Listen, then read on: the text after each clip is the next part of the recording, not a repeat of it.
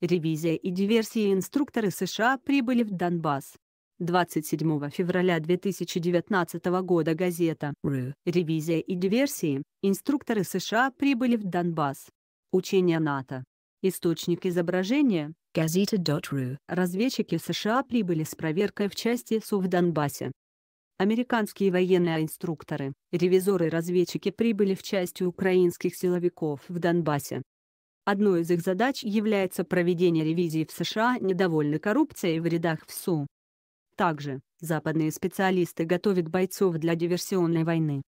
Ранее в США группа сенаторов встретилась с представителями Украины. В ходе встречи они признали, что Киев является экономически проблемным союзником в Восточной Европе. В подразделение украинских силовиков в Донбассе прибыли американские военные инструкторы, ревизоры и разведчики, рассказал атаман Международной общественной организации «Верное казачество» Алексей Селиванов на брифинге в Луганске. По его словам, это произошло на прошлой неделе. Среди приехавших американцев атташи по вопросам обороны полковник Кевин Вафорд, помощник военного атташи полковник Эрик Адам, атташи морской пехоты полковник Шеймас Квин и представитель аппарата атташи по вопросам обороны лейтенант Дэвид Лангес. Атаман указал, что специалисты из США проводят ревизию из-за коррупции в рядах ВСУ, а также занимаются изучением поступившего из Соединенных Штатов гуманитарного вооружения, передает ФАН. Эти офицеры отправились с инспекцией в зону АОС и были, по нашим данным, по информации, которая нам была передана с той стороны, крайне недовольны. Военные представители США читали украинских офицеров из Центра обеспечения миротворческой деятельности и реализации международных договоров СУ, пояснил представитель казачества. Кроме того, в Донбассе приехали советник США по вопросам реформирования военно-промышленного комплекса Украины Дональд Винтер, который проводит отдельные встречи с руководством госпредприятия «Укроборонпром», представителями Лиги оборонных компаний и Ассоциации производителей украинской оборонной продукции.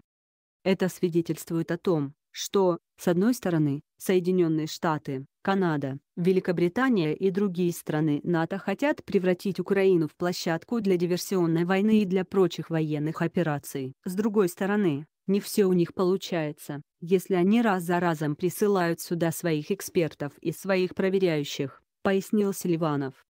Накануне украинские диверсанты совершили подрыв взрывного устройства в Макиевке. Как сообщил журналистам начальник пресс-службы Управления народной милиции ДНР Данил Бессонов, украинские боевики продолжают совершать диверсии и подвергать опасности жизни и здоровья мирных граждан, проживающих на территории ДНР передает НСН.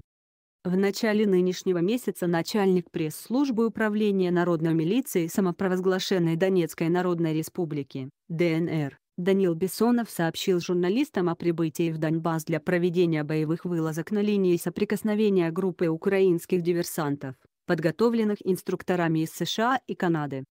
В зону ответственности оперативно-тактической группировки «Восток» Волновахский район прибыла диверсионная группа из состава отдельного полка специального назначения.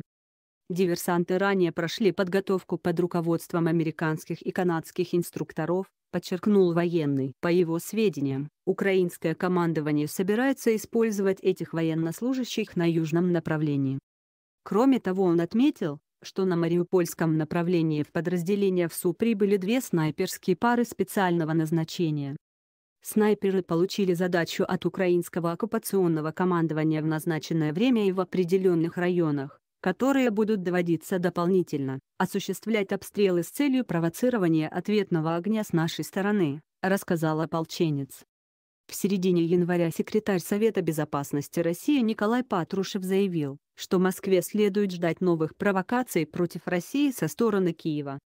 По его словам, провокации – это единственный для Украины способ напомнить о себе международному сообществу, в особенности США и Евросоюзу, доверие которых Киеву стремительно падает. В этой связи правоохранитель предупредил о серьезных последствиях резкой эскалации вооруженного конфликта в Донбассе как для Украины, так и для Запада. За три дня до этого на подконтрольной всю территории в Донбассе был сбит беспилотный летательный аппарат, рассказали наблюдатели специальной мониторинговой миссии ОБСЕ. По словам наблюдателей, последний раз дрон видели у Попасной, которая находится под контролем украинской армии. Со своей позиции на восточной окраине населенного пункта наблюдатели руководили полетом беспилотника, который следил за снегоуборочными работами на автодороге. Т-0504 Красноармейск. В начале нынешнего года в США группа сенаторов-республиканцев встретилась с членами ряда украинских общественных организаций. В ходе встречи они признали, что Киев является экономически проблемным союзником в Восточной Европе. Журналисты не были приглашены на эту встречу. Украинские представители объяснили, что они не заинтересованы в освещении беседы в СМИ из-за растущих радикальных настроений и роста агрессии в украинском обществе. Украинские гражданские лидеры объяснили, что альтернативные точки зрения в Киеве отвергнуты. Рафаэль Фахрудинов. 26 февраля 2019 года. Право на данный материал принадлежат газета. Материал размещен правообладателем в открытом доступе.